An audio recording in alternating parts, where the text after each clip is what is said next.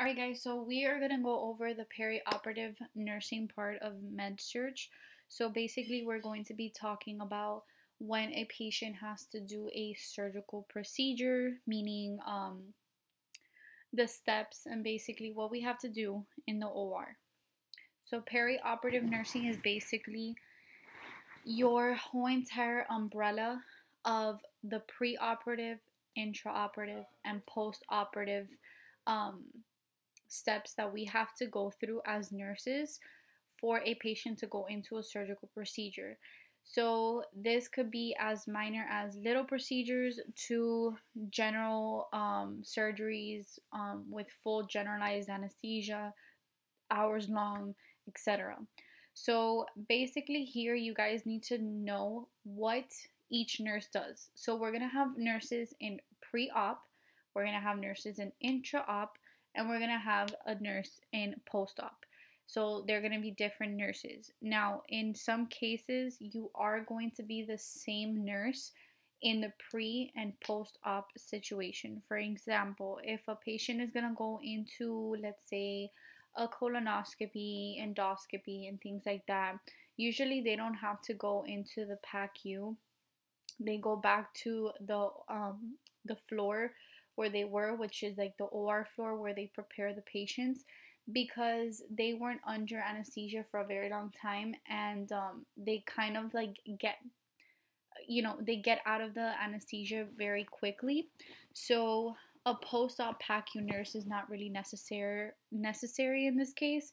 So there are going to be some cases that you are going to, if you decide to be an OR nurse um, you might be the patient, uh, the nurse for the patient that you are going to be giving to the intra-op nurse and also the nurse that's going to be receiving them back. This all depends on the surgery, of course. So for pre-op, this begins basically when the patient comes into the hospital if they're scheduled for surgery or if they're transferred to your um, OR floor um, from another another um, like a surg floor, ICU, whatever the case is. And basically, preoperative um, care uh, ends when we are going to be giving the patient to our nurses that are actually going to be in the OR. Now, the nurses in pre-op could also be nurses that are going to be in in the in in the OR. So the OR is kind of like a flow system. It all depends. You might be the the nurse that you know ends up with the same patient and you just have to care for them before you send them back to home um, back home or the med-surg or you could be the patient that gets them um, the nurse that gets them ready and goes in with the doctor to the um, the procedure and the surgery. So it all depends um, if you guys ever experience the OR you guys are going to see that uh, when you shadow a nurse. So in this case so you guys could have peace of mind and understanding and and basically um understand it more in regards to testing. Think about that we have three different nurses okay? Let's just think that we have three different nurses. So we have your pre-op nurse. This pa- this nurse is going to get ready get your patient ready um, take vitals, do everything, um, get them ready, and then they're going to give them off to the intraoperative nurse, which is a nurse that is going to be um, basically in the OR with the doctor. And then you have your third nurse. This is your post op. This is your um, your nurse that is going to be taking care of the patient after surgery. Okay, so basically, um, this is the steps that you have to go through in regards to surgery. Now, for our pre-op nurse. Pre-op nurses are very, very important, just like any other nurse, because not only are you getting ready, um, this patient ready for surgery, but you're basically getting all the basics because you need to know if this patient can go into surgery and if there's anything that is going to um, put them at risk for anything during surgery. Okay, so the most important thing is getting a detailed history on this patient, um, especially if it's the first time that they ever um, have been in um, the hospital. Uh, so, the past medical history is very important. You want to know what the patient has right now. So, let's say that if the patient is diabetic, has heart failure, kidney failure, any of those things, those things are very, very important. You need to know their allergies. Um, not only are drug allergies important, but also allergies to food, um, latex, bananas, things like that. Um, usually, banana and kiwi are indicative of a latex allergy. Um, shellfish, seafood, and things like that indicate that they might be um, allergic to iodine. Um, also, mangoes. Sometimes, if people are allergic to mangoes, usually that correlates with iodine as well. The reason why you need to know this is because there are some surgeries or procedures that are um, done as surgical procedures that contain iodine. Um, so you need to make sure that you are basically not putting iodine in a patient that's allergic to it um, because it could go into a, a full blown anaphylactic shock. So, um, apart from allergies and knowing your patient currently, you want to ask them about any previous surgeries or any problems that they had. The reason why is because past surgeries could indicate or help you understand what could happen with this surgery that is going to happen. For example, if they had a certain complication in, in another surgery, this is very important to document because you could prevent it from happening or you could know that there is a possibility that it's going to happen and be more um, i guess um, prepared for it to occur. Um, medication use is very important. So if you have let's say a patient on aspirin you guys know that aspirin has to be withheld from a surgery within one to two weeks. Um, i believe right now it's it's a week from surgery and herbal medications are about two to three weeks that they have to be off of it. The reason why is because if they go into a general surgery or a surgery that they are going to probably bleed a lot, um, their clotting factors are not going to be uh, working properly because either they're they're taking aspirin and the blood is really thin and, and the platelets are not working properly, or herbal medications could cause this as well. Substance use could cause adverse um, reactions to any medication, anything that we give them in the OR. So it is very important that you address this with your patient. You know, you have to learn how to speak to your patient and not tell them like, "Hey, are you on drugs?" No, but you know, um, you do need to know if you know they they smoke any type um anything like you know anything that could put them at risk if they're on any drug use alcohol use, any of those things is very, very important. okay, so the next bullet point is very, very important in regards to patients that are going into general anesthesia. So, patient or family history or reaction um, history of reactions or problems with anesthesia is very very crucial the reason why is because there is something that's called malignant hyperthermia, which we will go over in, in a little bit, that usually, usually, if it happens or occurs in the family, there is a high possibility that you could have it too. In, uh, not have it, but it could happen to you as well. It's basically triggered by different types of anesthesias and things like that. Um, but it's very, very important because um, even though it's going to be in the OR, obviously, just in case it happens, the nurses are more, um, I guess, on the lookout for this to, to, to occur. Um, and then there's also patients that could possibly be allergic to different types of um, anesthesias and anesthetics.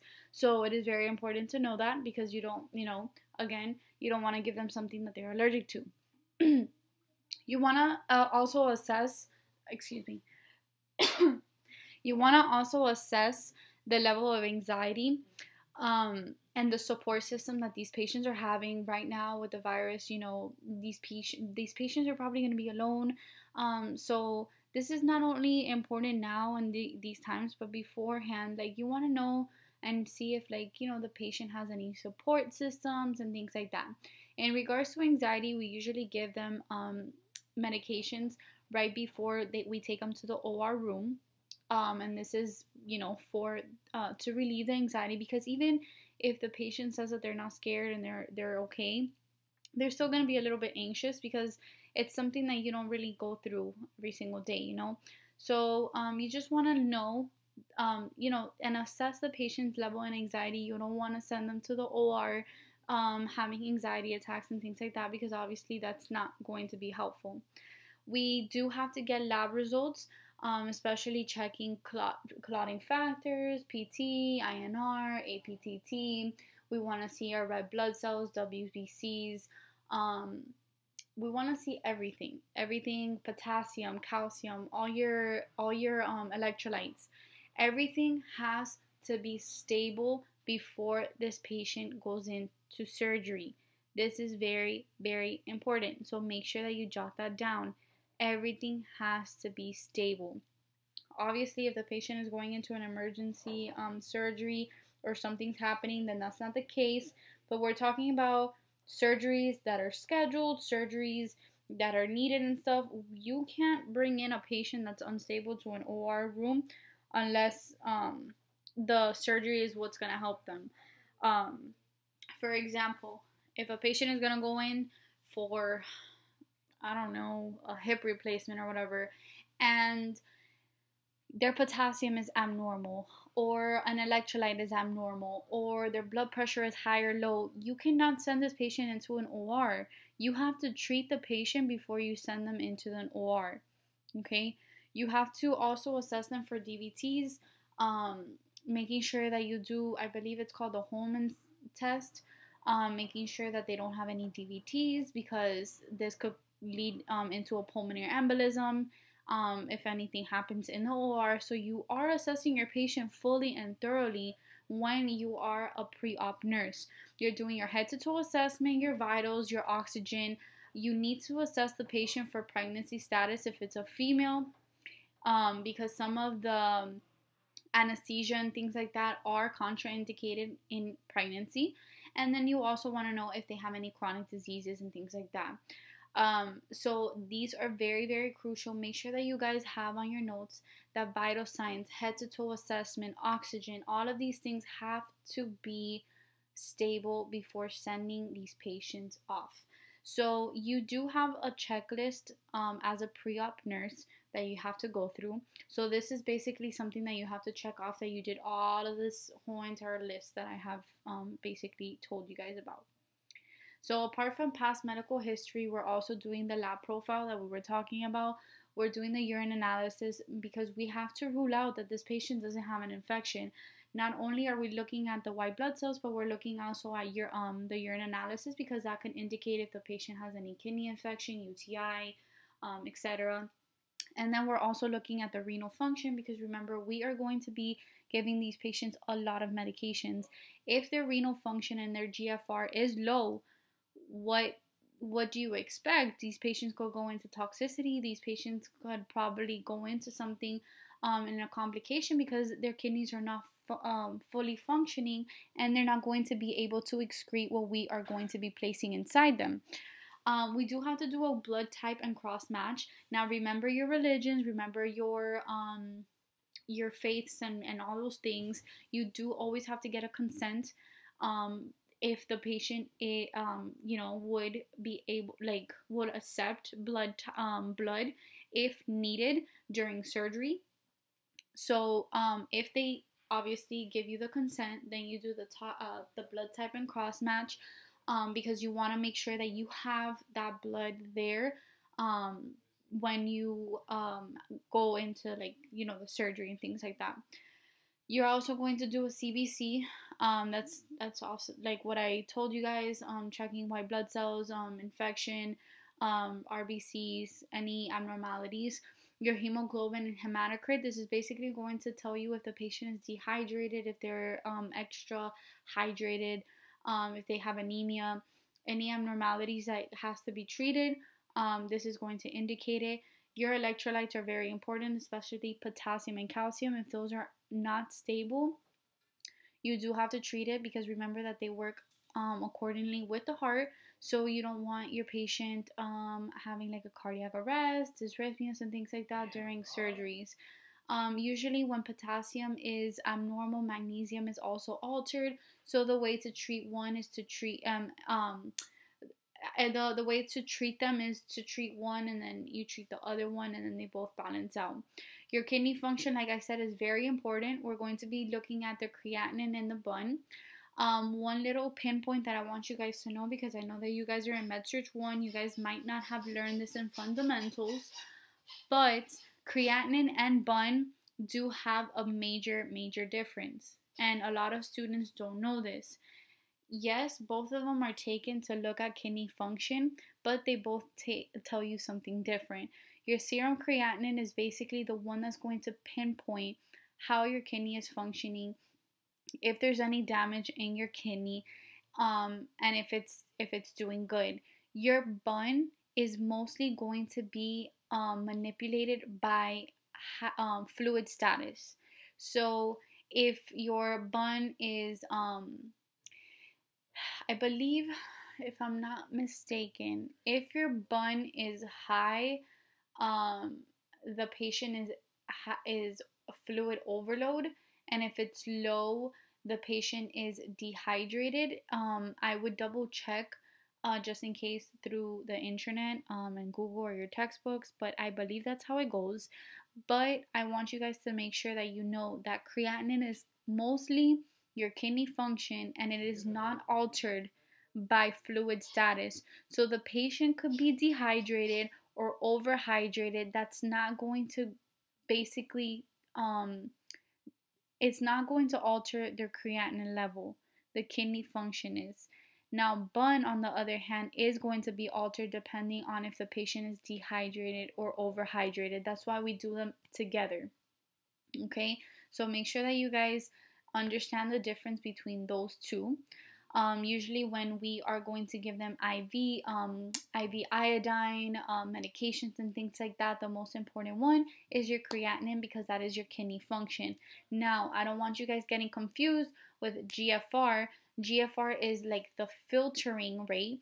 So remember that the kidneys have the glomerulus, which is like the little filter, and then that's also something that goes hand in hand with your creatinine. Okay, so um, usually they do check the GFR either way, um, just to check how the kidney is functioning and um, basically uh, taking and excreting out everything. We already talked about the pregnancy test because it could be um, risky when it comes to anesthesia. We're always, always going to do a chest x ray. So this is going to be um, for everyone, no matter what age it is um, you do have to do a chest x-ray just to make sure that the heart is doing good and the lungs are doing good um, because we are going to compare it after surgery. And then lastly, we're going to put these patients on the 12 lead EKG. We're going to take their baseline um, rhythm, make sure that there's no dysrhythmias, that there's no STEMI, non-STEMI, that there's no PVCs, there's no anything abnormal other than sinus rhythm, no AFib, no A flutter, nothing like that. Um, and then we're also going to look out for cardiac disease. And then this is very, very crucial for um, patients over 40 because of the anesthesia. But either way, we're doing this on all your patients. So, nursing care in regards to the pre op, this is basically what you have to do apart from like that, um, like assessing, is that you are going to make sure that there is an informed consent. Um, you do have to know um, a few things about the informed consent because most likely it's going to be at least coming up on one of your exams. Um, so, for the informed consent, the nurse is just a witness, and I want you guys to understand that you guys are not the ones teaching the nurse, the the patient. You guys are not the one that has um, to tell the patient the risk factors, this and that. Um, that's the doctor. So you're basically going to be in the room when the doctor is there. Um, you're gonna listen to the doctor tell them like, you know, this is the surgery, this is why we're doing it, yada yada yada, everything that he has to say or she has to say, and um, you're basically going to then ask the patient, okay, um, are all your questions answered? Are you okay with everything? Um, are you going to go ahead with your surgery? If the patient tells you yes, then they don't they don't have any questions, that um, they're gonna go ahead with the surgery. What they what you have them do is that you're going to physically see them sign the consent. So make sure that you guys read your questions correctly. Okay, your you have to physically see the patient sign it with your eyes, okay? You have to be there. You have to witness it. You can't just like give them a paper and then come back and I'm like, "Oh, okay, you signed it. Cool." Like no, you have to be there while they're signing the paper. Now, if these patients are going to no, sorry. If the patient by any chance tells you like, "Hey, um you know I, I felt very overwhelmed i'm not sure i need I, I have questions when the patient has questions you have to call the doctor the doctor is the one that has to disclose anything now if the patient asks you like a like something that the doctor already stated then you are allowed to re um, explain it to the patient but you cannot add any information that the doctor did not say okay so if you guys get a question in regards to that, um, make sure that the answer choice, if there is one um, to choose from, is that the nurse restates what the doctor said previously. Okay, if it says that the nurse teaches them um, this and that or something like that the doctor hasn't spoken to them about, this is that is wrong. Okay, um, if you're in doubt, usually the answer is call the doctor, um, so they could uh, so they could talk to the um, to the patient. Okay. Um, so if the patient is going to go into surgery that has to do with the bowel, like the stomach or anything like that, um, they are going to have to do enemas and laxatives, but that's only like for bowel surgeries. You have to do uh, you do have to check the medication prescription. Sometimes when the patient is diabetic they're going to allow them to um, take insulin. It all depends on what the surgeon and the doctors um, correlate with. Um, that's why it is it's very crucial for you to know what medications these patients are on because if they take blood pressure medications diabetes medications any type of medication that they take you must be aware of it and you must see if the doctor is telling you to withhold it or to give it before the surgery. Um, and then for the NPO status, uh, you don't really have to necessarily like, I guess, you don't have to physically memorize these numbers, but usually six to eight hours before surgery, the patient shouldn't be eating because usually it takes about like maybe four or five hours to digest um, fully the food. And um, the reason why we put these patients on NPO is because even if the patient is under general anesthesia, there is a risk for aspiration. Um, and that is something that you do not want happening because if someone aspirates anything, this could cause pneumonia, it could cause any type of infection, it could cause um, lung damage, it could cause anything, you know. So you're trying to avoid that. So you're going to tell the patient that six to eight hours they do have to be NPO. Clear liquids are usually two hours prior if it's general anesthesia, but then they kind of extended it a little bit more if it's local anesthesia because they're not going to be fully like asleep. Um, and then you are basically charting input and output and basically analyzing your patient at all times. Before um, you send them off to surgery, you do have to prepare them. So do like a skin preparation. So uh, there's like these little wipies that they have that you have to wipe down your patient completely, or you could allow them to take a shower. It depends on what they want. Um, if the um, surgery requires that they have to shave in a certain area, the only um, razor that like the way that they could shave is electrical clippers. They can't use razors and um, they must remove everything before surgery. This includes dentures, um, prostheses, makeup, nail pot. Usually nail polish, they don't need it, but um, glasses, any personal items they have to take. Now, I want you guys to keep in mind because it might come up because they like to test you guys on how you know your cultures and religions and things like that. So, if the question tells you that you have a patient and you're going to have them go to um I don't like surgery and he's from whatever culture or whatever religion you want to talk about.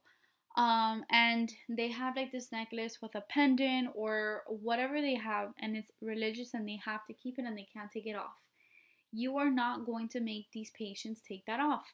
What you're going to do is that you're going to tape it on their on their body um and tell them like you know like okay it's fine for you to keep it but we have to tape it like either like um on your chest or or somewhere that it's not going to interfere with the surgery and you must let the surgical team know about it and you document it but if it has to if the question tells you that it's something religious or um, or culture uh, or uh, from a culture, you never force the patient to take that off because you're advocating for your patient.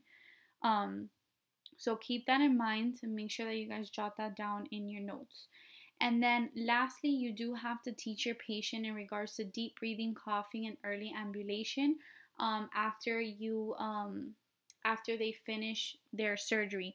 So you do need to know how to educate your patient on the spirometer because um, this device is going to allow your patient to not be at risk for atelectasis, which is a collapsed alveoli, and you do not want that to happen.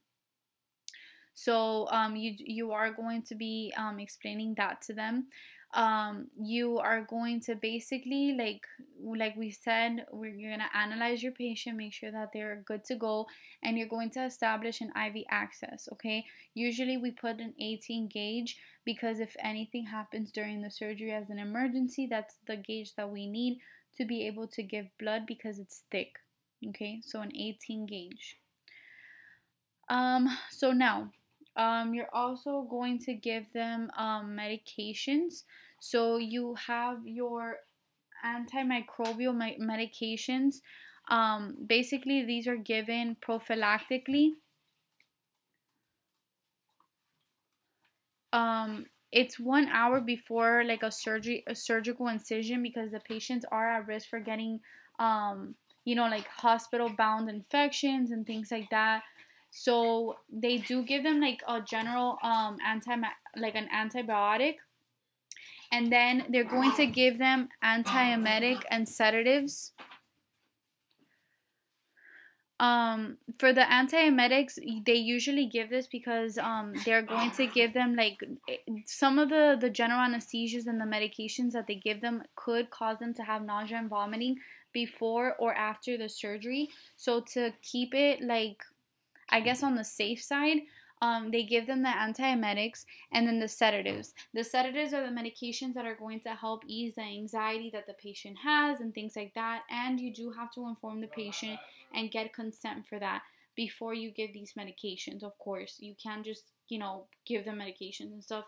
Everything has to be educated um, you do have to educate your patient on every medication that you're going to give them on any floor that you that you're on. So it doesn't matter if it's the OR. Um, they could still actually um, tell you like, no, I don't want the medication. Okay.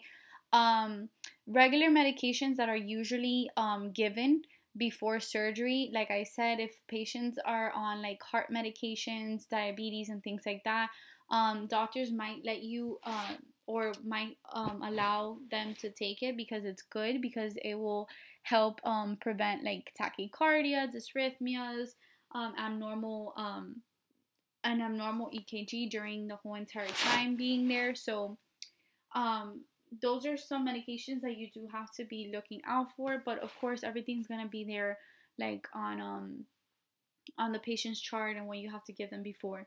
So it's not something that you have to like figure out yourself. The doctor will tell you like what to hold and what to give.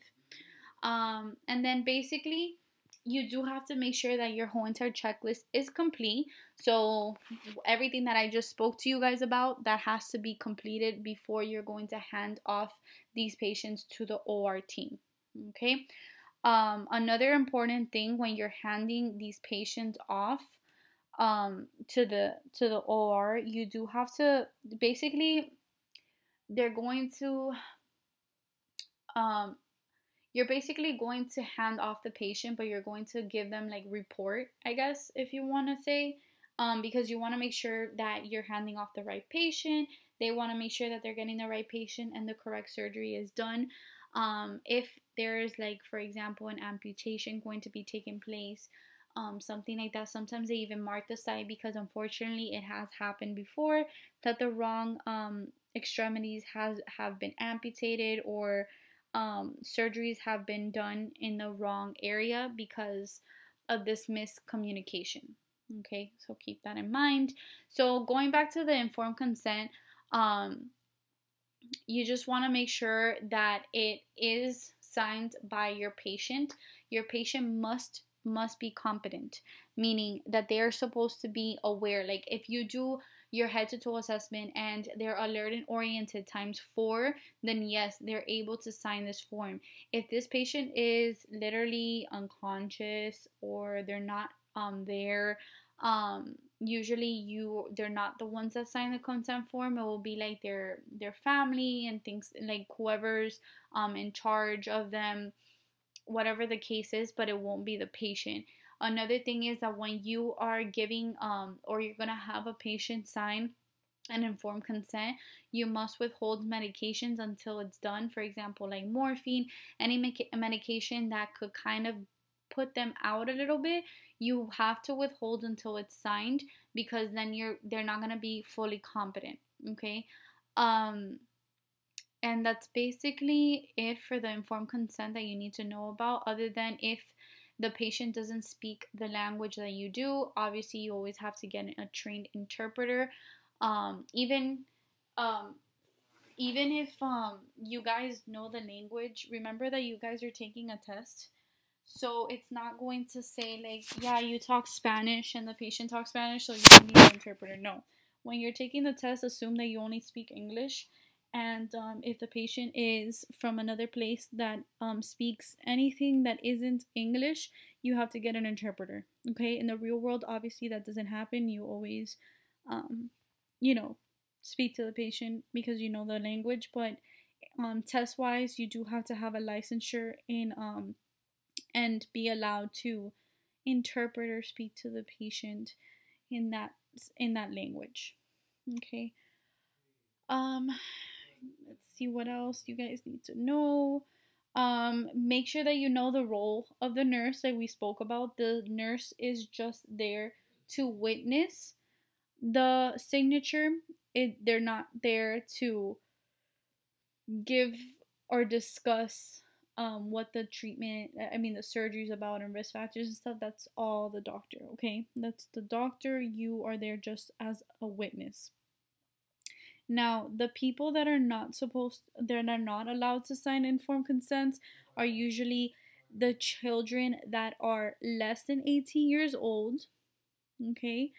Um, and that are not emancipated. So, if the pay, the the child is 18 years old or older or if they're um, younger than 18 but they're emancipated, then they are allowed to sign their own informed consent. Okay?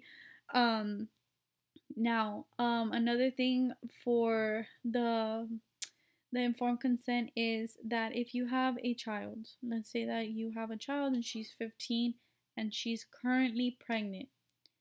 She is basically able to sign off for anything. Once this patient has and delivers the baby, she is back under her parents. Okay, that's something that you guys need to know not only for MedSurg but like for um for any other class because those questions kind of come up a lot on proctor exams and things like that. So make sure that you guys are very, very like aware of the informed consent and you guys read about it, okay? Now, the people that are allowed to um, grant consent for another person is um, the parent of a minor, if they're under 18, a legal guardian, someone from the court, an individual that has power of attorney um, and authority for, for healthcare, um, emancipated minors, we already spoke about. Um, so these are the patients that are that are unable to sign the consent themselves. These are the people that are allowed to sign it for them. So if you have, let's say, an unconscious patient, um, if they have a legal guardian, then they get to sign it. Um, if that's not the case and they have, I don't know, um, a power of attorney, then those are the people that are going to sign the consent. Okay, So it all depends on your patient. Um, so basically, there's a lot of teaching. Um, usually, half of this teaching you have to do it again once the patient starts to wake up, but it is very important to teach your patient before surgery because you don't want them waking up and and having like a heart attack because of something that they're seeing and they didn't expect. For example, you're going to teach the patient that if they're going to go into surgery that you know that they're going to come out with a Foley catheter or a peg tube or a colostomy or anything abnormal in their body, you do have to teach your patient. You have to tell them like, "Hey, look, after the surgery, you're going to have a tube in this section of your body um it's gonna either come out this this day that day or if this happens if that you know you have to explain it to them because imagine if you're going into surgery and then you wake up all of a sudden and you have like a tube in uh you know in your body and you didn't think that you were gonna have anything you're gonna th- you're the first thing that you're gonna think is that you're either ha- like you had a complication and you're dying or something or something happened you know and you're gonna freak out so the best thing to do to prevent your patient from freaking out is being as open as you can with them and explaining to them and teaching them everything possible. Okay, you want to um, explain to them how important early ambulation is because of the risk factor of DVTs. Um, deep breathing and coughing with your spirometer, so you need to teach them how to use it. Usually, it is 10 times every hour um, because you want to prevent from your lungs to collapse. Um, so basically, just teaching your patient everything that they have to do, um, explaining like explaining that um, explaining to them what to expect after surgery as well. Even though half of the stuff that you're gonna say again, they won't remember. Okay, but there's some that do remember. Alrighty, so we already went over this. So the incentive spirometer, you could either think about it 10 times in an hour um, or just um, saying that they have to use it every one to two hours. So it depends on how they ask you on your exam, but make sure that you know that, that it's 10 times every hour or every one to two hours. Okay. And then for your interventions, we already spoke about this though um, what we has what has to be held. So aspirin, your herbs, feverfew, regular medications that um, the doctor tells you. You have to prepare the bowel if it's needed. Assess pain scale, and then you have to tell them that they can't smoke either 24 hours before the surgery. Now, um, there are different risk factors that could occur with anesthesia, either general or local. Usually, the general is the one that has most complications. Um, but either way, whatever it is, your airway patency is the main priority in all situations. Um, but sometimes cardiac could actually be first. So it all depends on um, what's going on. So, for example, if the patient um, is having like a hypovolemic shock and they're bleeding out, you have to treat cardiac first before you do airway, if that makes sense. Um, I don't believe they're going to ask you a question in Med-Surg 1 in regards to that, so just leave that for when you guys go into Med-Surg 3 and you guys go into, um, you know, intensive care and, and stuff like that. But there are cases that you will treat cardio first, but most likely it's always airway, okay? And I want you guys to know the difference between, because I know that you guys remember ABCs and I want you guys to remember that A is airway and B is breathing, and they're both different. Airway is making sure that there is an airway. So, meaning you have to do the head tilt, you have to do a tracheostomy, you have to open the airway.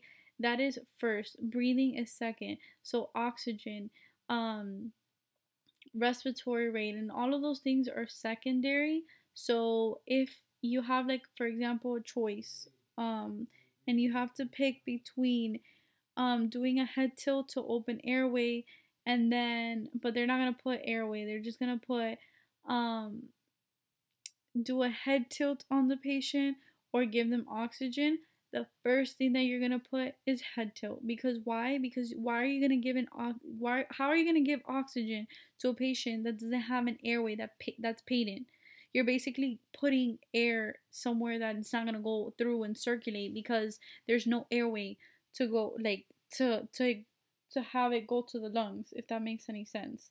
So when you guys are taking um, your exams make sure that you remember airway goes before breathing for general anesthesia we talked about the um, malignant hyperthermia this is why we do have to ask the patients if they have had this in, in, like previously in any surgeries or if their blood family member have had the, um, this situation because it could run in the family.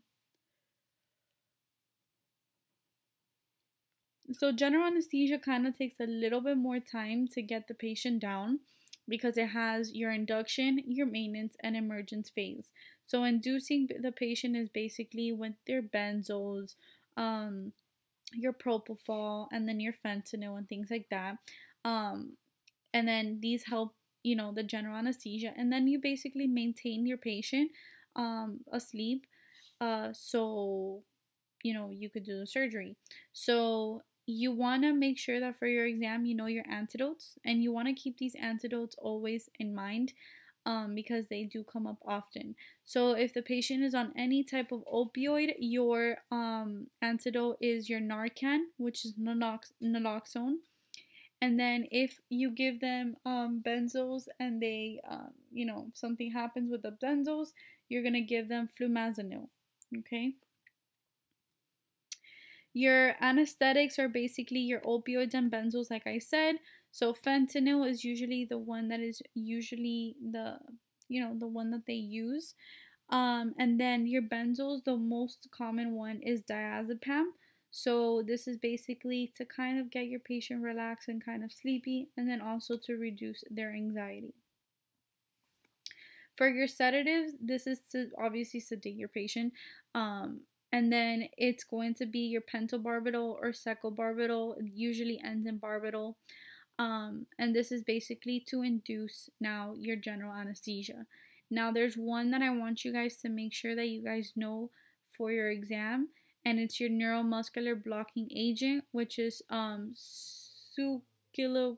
I can never say this, succinylcholine or something like that, vecuronium. So what they might trigger like target on your um on your exam is what you have to do before giving this medication. Now think about it.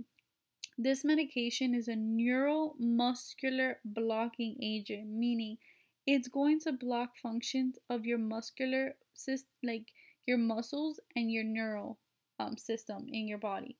So, if you know that your heart is a muscle, you know that your lung is a muscle, and things like that, the first thing that you're going to do is put this patient on a mechanical ventilator. You cannot give this medication before you have this patient on a mechanical ventilator because you're basically going to paralyze them and you're going to kill them. Okay? So you do have to have an air um a airway placement um either like intubate them or tracheostomy whatever the case is and they do have to be connected to a mechanical ventilator so if you guys get a question on this patient the first thing that you have to do before giving the pa- the patient the medication is putting them on a mechanical ventilator then you have your antiemetics. The most common one is ondansetron. This is basically for the nausea and vomiting before and after the surgery. Your anticholinergics, um, usually they'll give them if it's needed. Um, it's basically like your atropine. Um, it's just to decrease like any risk of like abnormal um uh heart like heart rates. So like atropine is basically to um I guess it will be how can I explain to you guys? Since the patient is gonna be packed with like so many meds, there is a risk that the heart is gonna kind of slow down and not do its work because it's gonna get kind of like sleepy and tired because of all the medications.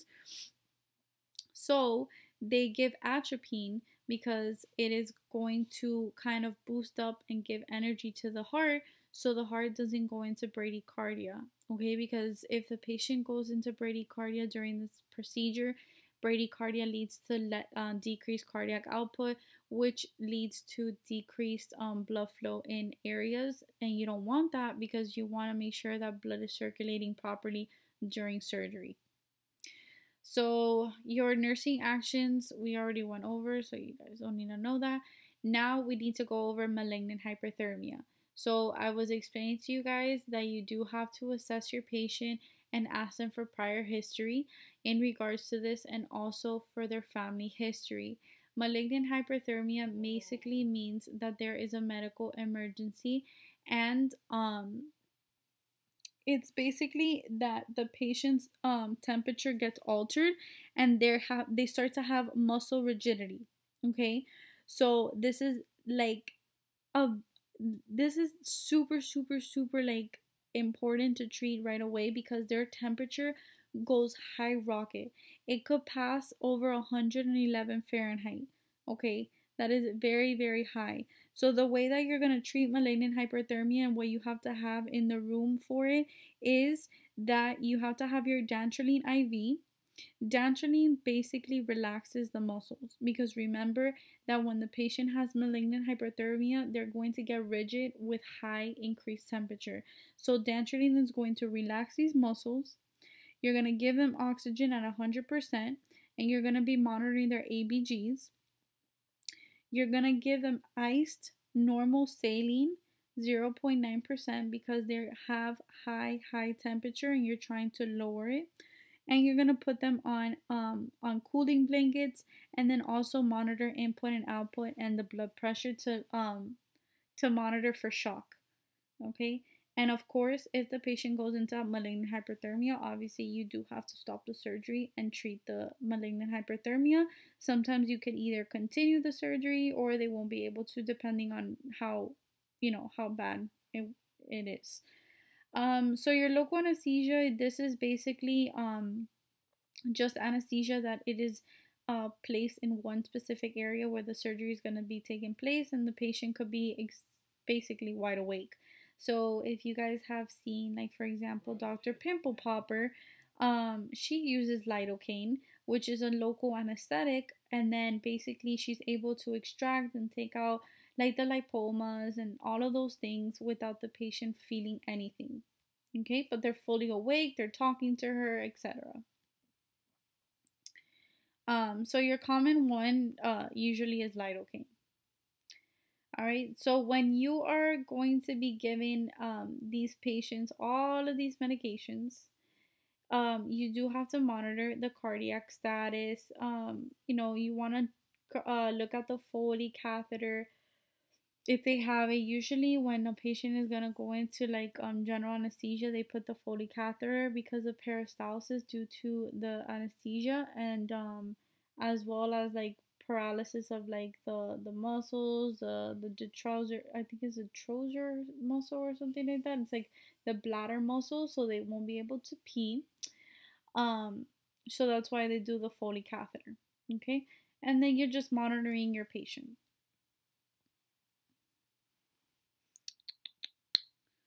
All right, so you guys don't need to know that. We already talked about that. All right, so the post-op nurse. So this is um basically you so just to go back the medications and stuff like that um that is your intra because remember that I told you that when you were handing off your patient um you're basically giving them report and you and you're taking your you know your patient you're handing off your patient to um the surgical team and then the surgical team is the one that puts them on all these medications. The only medications that you're giving the patient as a pre-op nurse is like your diazepam, um, any opioids like fentanyl and things like that. Sometimes even fentanyl is given inside the ER, the OR. I'm sorry. Um, but yeah, the general anesthesia and the anesthetics and all of those things, those are given in the actual OR room, meaning that that everything that I just spoke about was your intra-op um, nurse. Now we're gonna go to the post-op. Post-op is basically you receiving your patient after surgery. This is very very crucial, and these these nurses are very very important. The reason why is because these nurses have to make sure that these patients come out of surgery and they stabilize and they don't go into any complications. Um, you know, they wake up and, and they're able to understand what's going on and things little by little. Obviously, it takes time, especially if they were in like long, extensive surgeries and, and a lot of anesthesia. Okay, so you are going to receive your patient um, from surgery and um, you're the post op nurse what you're going to do is that you're going to assess your patient all over again. So, everything that most likely your pre op nurse did, you're going to reassess the patient and you're going to compare it with what the pre op nurse documented. The reason for this being is that you cannot discharge your patient from the floor until gag reflex is um, gag reflex has returned um, until uh, they are urinating 30 milliliters per hour. And basically, um, if, if their vitals are unstable or not matching the vitals and the labs that they came in with, um, they have to be treated before either being sent home or being sent to another um, floor. Okay, so those are your things. Um, but most likely your priority is always airway. So make sure that you always um, analyze the patient's airway. Sometimes they could come out surgeries with tracheostomies and things like that, but other times they're just regular and you just want to make sure that their airway is working and functioning correctly. Um, especially being on those medications for so so long, they do depress the the respiratory um, system. So complications that you want to look out for, um, you don't have to memorize this. Usually, it's kind of um, just knowing the complications, not when it's gonna start, because oh, again, this is something that like it could happen to anyone, but like at a different moment. Okay, so atelectasis could occur like earlier than 48 hours, but um, like I'm saying, uh, you just need to know like kind of like complications to look out for apart from atelectasis, and usually that happens if they don't use their incentive spirometer and things like that, they could get infection, they could go into shock, they could have urinary, urinary retention up to three days because of the anesthesia. That's why we put the Foleys. Um, they could get UTIs due to the Foley being in place for too long. Paralytic ileus is something very common. Um, well, not common, but it's something that you have to look out for because um, the the intestines could paralyze and then they might not be able to um you know go to the bathroom. And then another way uh, no another thing is that apart from stability and vitals and labs and and things like that the patient is not going to be able to um, be discharged until not only do they urinate 30 milliliters but they they pass gas like a flatus so um, they do have to pass gas before being um, discharged because we want to make sure that they don't have a paralytic ileus. So the risk factors um, that you have to watch out for as well is anemia due to blood loss, um, hypovolemia because of like the lack of perfusion that was occurring during surgery because obviously they had a wound, um, hypothermia, and then immobility. So immobility goes hand in hand with like respiratory um because if the patient uh doesn't start moving around and things like that it could cause respiratory complications um circulatory uh, complications pressure ulcers because of like the pressure um on those bony prominences so all of these things are are like very very crucial to look at being a post-op um, nurse and everything has to be documented. Their cardiac system their respiratory vitals everything everything has to correlate with one another. So if you receive the if you if they receive the patient with like let's say a blood pressure of 120 over um yeah 120 over like 72 they should be releasing and discharging this patient with a blood pressure in the same range. So like around 121, 122, you know, in the same range around there because if they came in and their blood pressure was 120 over 71 and then in they're in the PACU and the blood pressure is 240 over 100 and something, something's going on and it has to be treated right away. if that makes sense to you guys. So your PACU nurse, again, like I said, does the same thing that the uh, pre-op nurse does, the full head to toe assessment. You want to make sure that during surgery, the patient didn't uh, obtain a wound. Um, you know, you want to document where their surgical incision is, what you see. You want to make sure that the surgical incision is not infected um, or starts sign, uh, showing signs of infection. They have to make sure that the patient is um, hydrated, their airway and breathing is uh, um, is good. You want to check capillary refills. Everything that you do at the beginning, you're doing at the end as well. Okay, you're giving them oxygen if needed. Circulation is very, very important. So you're looking out for capillary refills, necrosis, abnormal um, skin color, and things like that. So the vitals usually are taken every 15 minutes um, when the patient comes out of surgery until the patient starts kind of like waking up and you know speaking and stuff like that. But uh, vital signs are very important every 15 minutes, especially after so much anesthesia, because you know anything could could occur. Okay. Um, we already talked about input and output you want to look for bladder distension but usually um, they have the catheter and you just you're looking for the 30 milliliters per hour.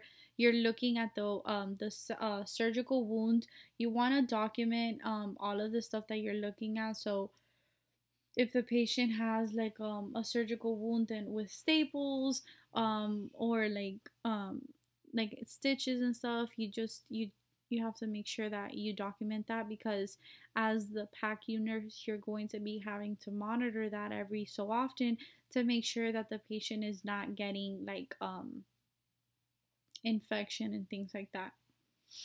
Okay.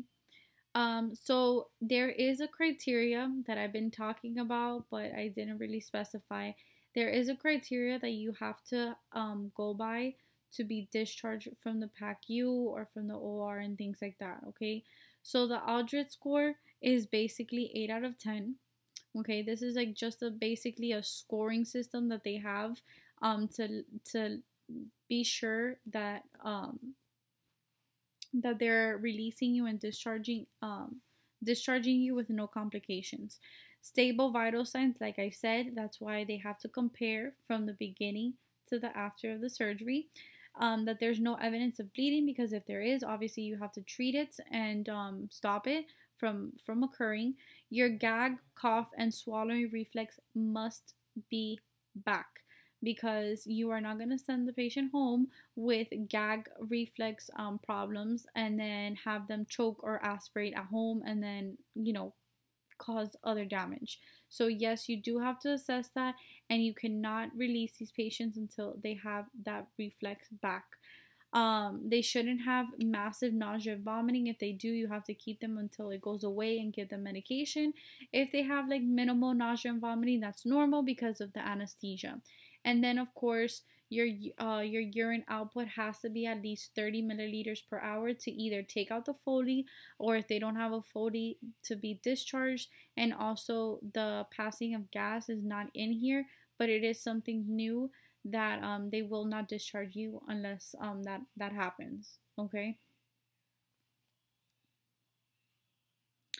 So um, we already talked about how important airway is positioning your patient, um, especially after surgery, is crucial because of DVTs.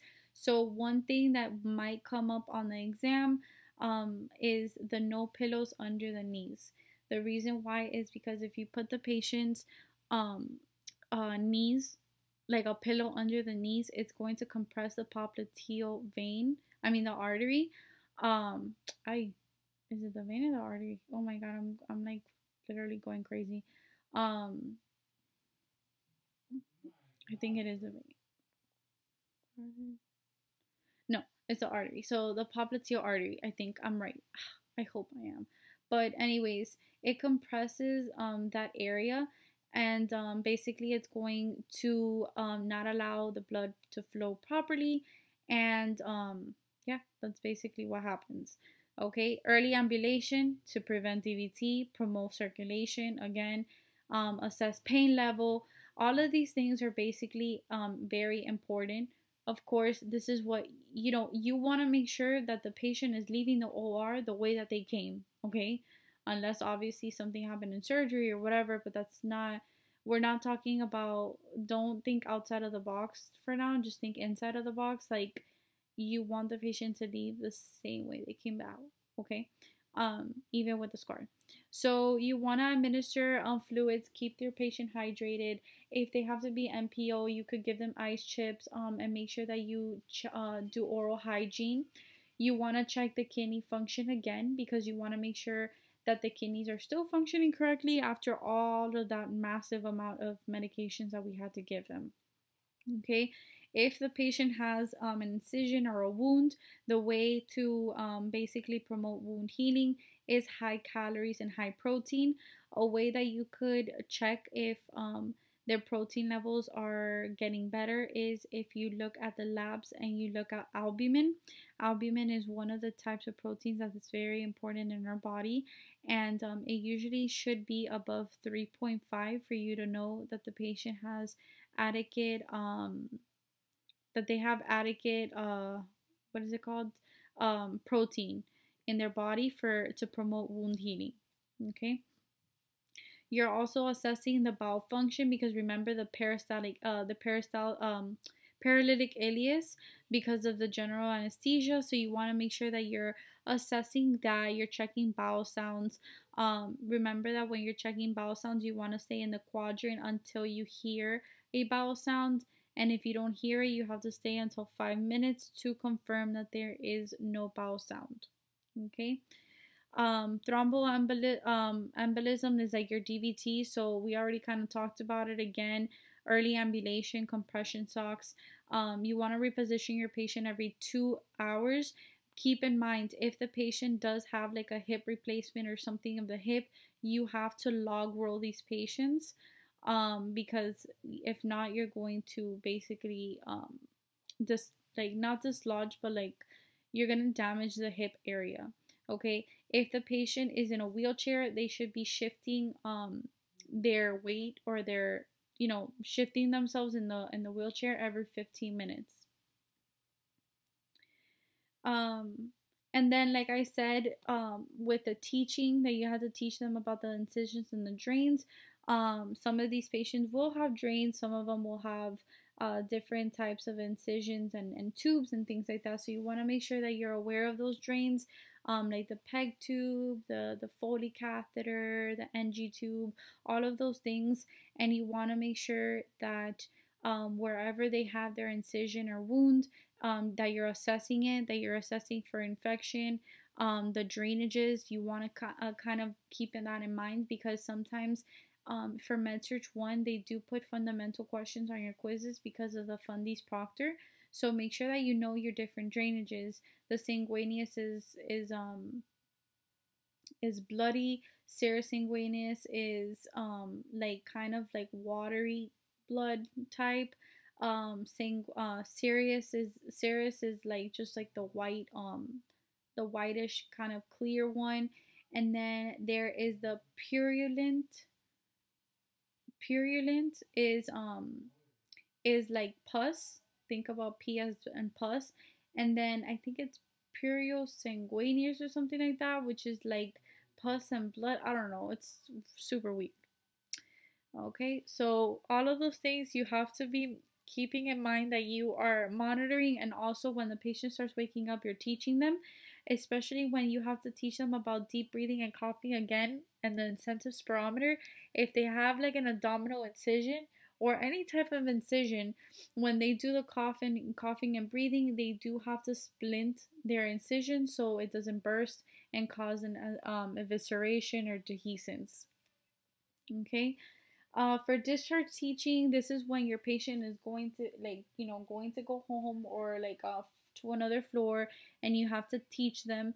And this is basically when they are stable and and you know that they're good to go. You're going to educate them on any medications that they they have to take, activity restrictions depending on the surgery that they that they that they get. So maybe they can't drive, maybe they can't lift weights for a certain amount of time, they can't work for a certain amount of time. So all of those things you do have to inform them about. You inform them about any dietary changes that they have to do or or you know ex- encourage them um, with good eating and, and so on. Um, you also have to make sure that you have an emergency contact information um, just in case the patient, you know, something happens, we have an emergency contact. And then they also have one like close by, like a phone number or something like that when they go home. So, complications that occur in surgery is the dehiscence and evisceration. So, the dehiscence is just like a slight um well it's not slight but it's basically like think about like your stitches just like popped out but all your organs are inside. And then evisceration is when your organs are like completely out, like your intestine comes out or whatever. So, for testing purposes, what you guys need to know is mostly about evisceration and what you have to do as a nurse. So, if this occurs to your patient, first you are going to put like a sterile gauze or like you're going to cover the I guess cover the incision um, if they tell you that you have to do it like by steps or like putting like put them in order, um, the first thing that you do is obviously stay with the patient, call for help. Um, usually go by your ATI book, but I believe that covering the wound is the first thing that you have to do, and then um, you have to lower the head of the the bed, but put um, make make the patient put um basically like bend their knees so they could keep the organs inside um, as much as possible, but not putting them inside. So that's something that you are going to be tested on. Like, do you put the intestines or whatever is popping out inside? No, you don't. You do not do that. You just cover it um, to prevent infection. But you do not try to reinsert these organs because you might reinsert it wrong and you know it, so many things could happen. So no, you do not do that. And then obviously after you have your patient um in the position that they're supposed to be in, um you're going to notify the physician. And then complications that you want to keep in mind that could occur, and you want to look out for, which either way we already spoke about, is airway obstruction, hypoxemia, which is due to um, atelectasis or bad circulation, um, which is low oxygen in the blood, and then hypoventilation because of respiratory depression because of the medications like the opioids, fentanyl, morphine, and all of those things. And that is basically it for our tutoring session. So make sure that you guys know the different phases between surgeries and what each nurse is basically supposed to be on top of. And remember, always, always remember your pre op and your post op nurse are basically your BFFs.